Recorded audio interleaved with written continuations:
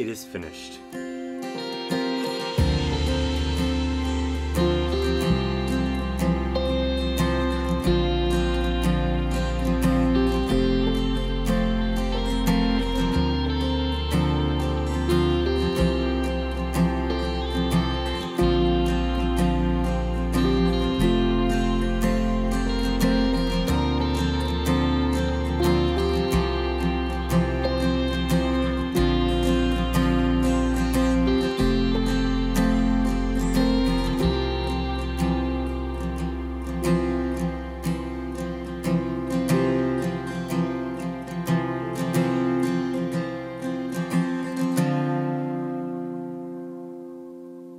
Or I guess I mean it's it's finished ish. I mean nat- naturally there's still, you know, plenty of things that that I would want to do to continue to refine the space, but I have definitely made great strides to make it my own. And people do ask me why? Why take the time to do all this work?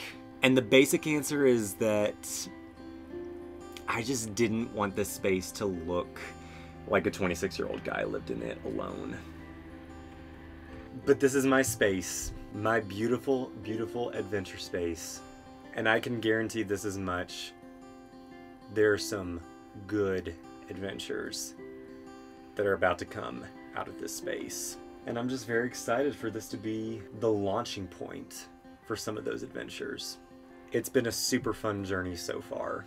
I mean, yeah, in hindsight, I didn't really do that much a few coats of Behr Nano White interior matte paint, and a couple coats of Dark Secret in the same finish. And it looks pretty dang good if I do say so myself. But let's not let our gaze get too detailed. I mean, nothing is ever perfect. But it's mine, and that's all that matters. And also, I thrive from other people's praise and admirations, and I really, really, really, really, really want you to tell me that I did a good job. Okay, thanks. All this to say, is that the interior only makes part of the difference. The other distance is the destination, and there's some good destinations coming up. So be sure if you haven't already to hit that subscribe button so that you can join in on the adventures to come. They're only to get better. Also hit the thumbs up if you like this video. Leave a comment below. Let me know how good I did. I can take the criticism, but also please tell me how good you think it looks. And I will be so sure to see you on the next adventure. Enjoy the journey, my friends.